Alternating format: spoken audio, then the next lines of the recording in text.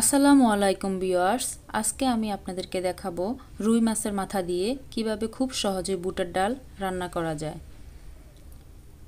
এই রেসিপিটি করার জন্য আমাদের যে যে উপকরণ লাগবে তা হলো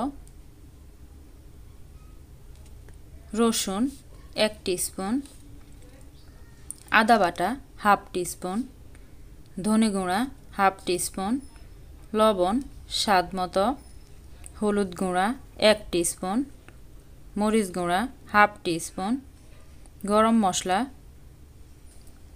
জিরা হাফ টিস্পুন, কাঁচামরিচ এবং ধনেপাতা কুচি যার যার পছন্দ মতো দিয়ে দিবেন।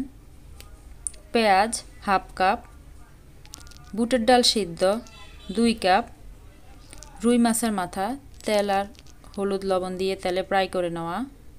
তেল এক কাপ। একটি প্যানে আমি তেল গরম করে তাতে গরম মশলা দিয়ে দিব। গরম মশলাটা ফ্লেভার চড়ানো পর্যন্ত নেড়ে চেড়ে তাতে পেঁয়াজ কুচি দিয়ে দিব। পেঁয়াজ কুচিটা ব্রাউন কালার হওয়া পর্যন্ত বেজে নিতে হবে।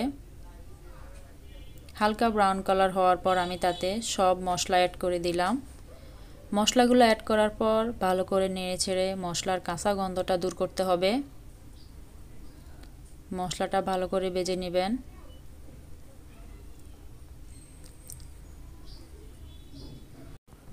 মশলাটা ভালোভাবে কষিয়ে নেওয়ার পর তাতে নর্মাল পানি অ্যাড করে দিবেন। আমার এখানে আমি বুটের ডাল সিদ্ধ করার পর যে পানি ছিল ওটা আমি দিয়ে দিলাম।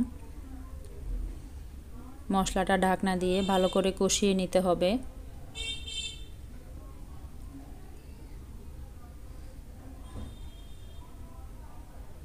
ঢাকনা দিয়ে মশলাটা ভালোভাবে কষিয়ে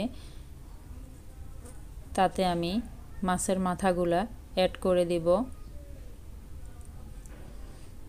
মাছের মাথাগুলা অ্যাড করে তারপর ভালো করে নেড়ে ছেড়ে উল্টে পাল্টে দিবেন যাতে মাছের যে ব্যাড স্মেল আছে ওটা যাতে চলে যায়। আমি আবারও ঢাকনা দিয়ে ভালো করে কষিয়ে নিব। আমার মশলাগুলা কষানো শেষ। এই পর্যায়ে আমি মাছগুলাকে নেড়ে চেড়ে মশলা থেকে সেগুলা উঠিয়ে নিব। সেই মশলার মধ্যে আমি সিদ্ধ করা বুটের ডালগুলা দিয়ে ভালো করে নেড়ে ছেড়ে মশলার সাথে ডালগুলাকে মিক্স করে নিব। ঢাকনা দিয়ে ভালো করে ঢেকে সেগুলাকে আপনারা কষাবেন।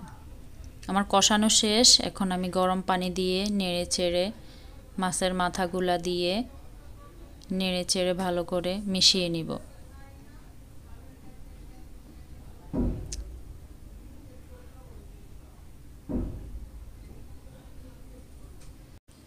এবার ভালো করে ঢেকে রেখে দেব ডালটা সিদ্ধ হয়ে আসা পর্যন্ত। ডালটা আমার সিদ্ধ হয়ে গেছে। এ পর্যায়ে ভালো করে নেড়ে চেড়ে তাতে আমি কাঁচামরিচ পালি অ্যাড করে দেব। কাঁচামরিচ অ্যাড করে দিয়ে কাঁচামরিচের ফ্লেভার এবং ঝালটা চড়ানো পর্যন্ত আপনারা ঢাকনা দিয়ে মিডিয়াম আছে রান্না করবেন। দেখুন, আমার মাছের মাথাগুলা কিন্তু আস্তই আছে, ভাঙে নাই। আপনাদের যদি আমার এই রেসিপিটা ভালো লাগে, তাহলে আমাকে সাবস্ক্রাইব করুন এবং পাশে থাকা বেল আইকনে প্রেস করুন। এবার আমি ধনে পাতা কুচি দিয়ে রান্নাটা কমপ্লিট করে নেব। আমার রান্নাটা প্রায় শেষ। এই রেসিপিটি আপনাদের কেমন লাগল এবং আপনারা কেমন ধরনের রেসিপি দেখতে চান, তা আমাকে কমেন্ট করে জানাবেন। রেসিপিটি ভালো লাগলে আপনারা লাইক, কমেন্টস এবং শেয়ার করতে পারেন। এই যে আমার মাছের মাথা দিয়ে বুটের ডাল রান্নার যে রেসিপি, সেটা কমপ্লিট হলো।